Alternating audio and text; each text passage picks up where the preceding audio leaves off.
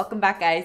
Okay, today I'm gonna be showing you a simple and yet delicious topping for any kind of seafood. I'm not kidding you. So today I'm using shrimp, but you could do this on fish, clams, razor clams, like, I don't know, all sorts of seafood. So good. Anyways, super easy, only requires a few ingredients and you put it on for steam and it's so, so good and so easy. So let's get cooking.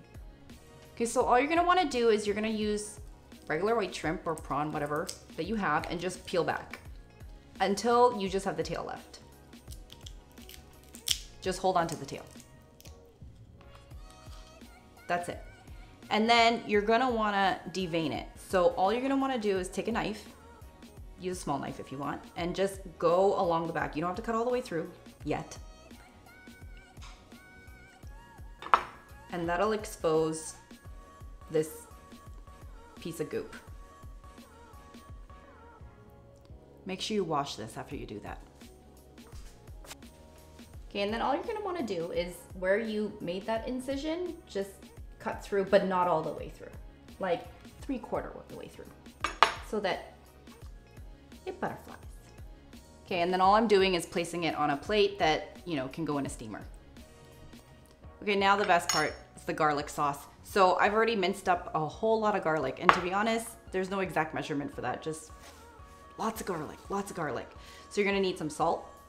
You're gonna need a touch of sugar, some pepper, some cornstarch, and then a neutral oil. So again, I use canola oil.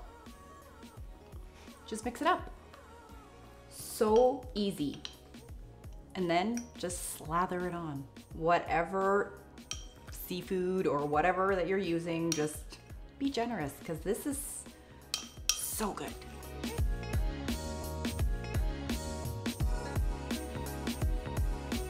Okay, so I'm just steaming in a good old fashioned wok because that's what I got, but if you got a steamer, use it. And I'm just using one of these, I don't know, metal racks or whatever. They're really cheap. You can get them from like Chinatown or whatever. And then all I'm doing is placing it on top once it comes to a full boil and then cover and put a timer on for eight minutes.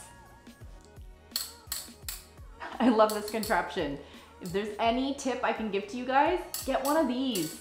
They're so cheap from Chinatown, so good. So it didn't even need eight minutes. I put a timer for eight minutes, but it only took six. So I'm gonna take it out because nobody wants tough shrimp. Check this out. Ha! Makes life so easy. And dinner's ready. Enjoy!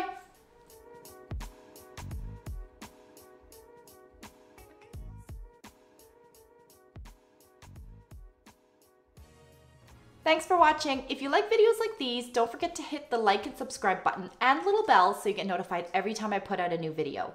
For full recipes, you can always check out my website and don't forget you can leave your questions and comments below. See you next time.